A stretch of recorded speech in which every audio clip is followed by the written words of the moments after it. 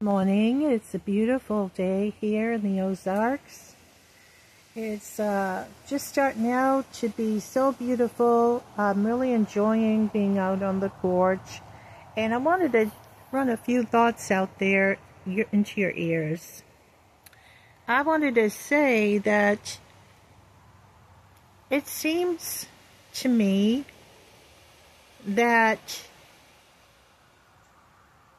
we're living in a time, perilous times, where people are trying to, you know, ignore it and keep cool and calm and not talk about it because of intimidation tactics of parties that are present everywhere with their little, you know, their little pawns everywhere.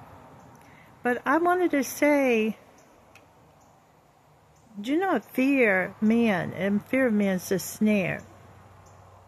You have to use your existing freedom that you still have to speak the truth in love and speak the gospel, the good news. Don't keep parroting the bad news because the bad news is not going to make people have a remedy or feel better it's not going to solve the problem. Here's what solves the problem right here.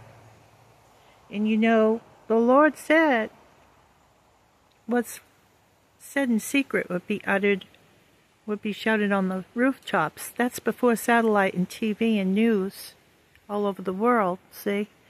Everything that God in person said will come to pass. It will come to pass, and it has been coming to pass without fail. Now, there's a thing called the Bible Code, and Brother Martin just did a new one on Kamala Harris. And uh, the last one was in April. I was worried it wasn't him anymore because I didn't see anything.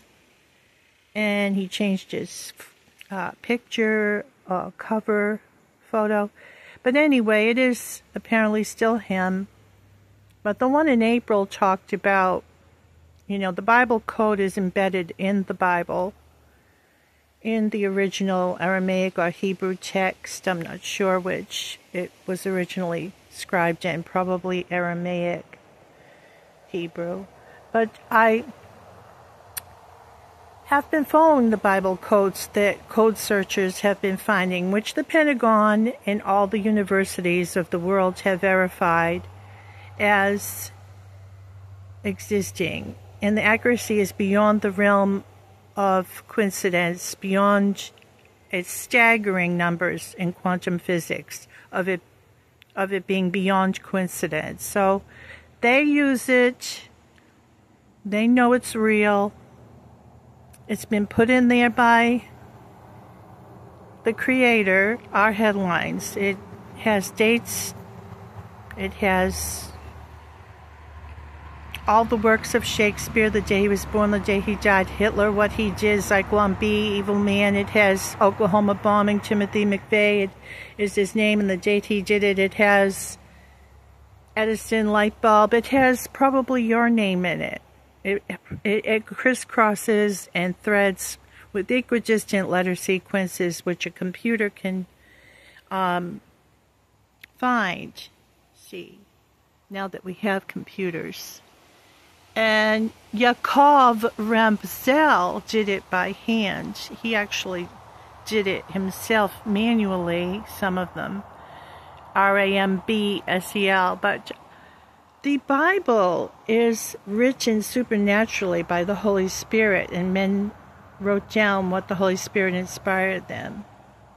So, the best thing you can do these days is get your direction from the everlasting word in the word, while you still can get a hold of a copy before they take them away. Because we're in the time of the famine. It will be famine of the word of God and food. The food has already started. So that's the third seal. And uh, I hope you all have a blessed day, but you need to pray and you need to fear God and keep His commandments for the whole duty of man, it says in the end of and the end of um, the book Solomon wrote. What was the book I'm thinking of? Ecclesiastes. And he was the most wise man. He was the most wise man that ever lived. And I don't. I didn't even wash my face this morning, but I'm not going to put myself on camera. But I, he said,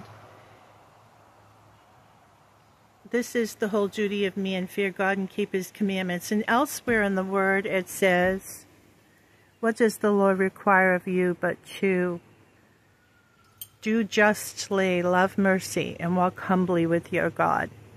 Don't try to carry on as if, don't put your head in the sand and think things are going to go back to normal. The Word of God predicts the ruination of civilization. It's happening. Wake up.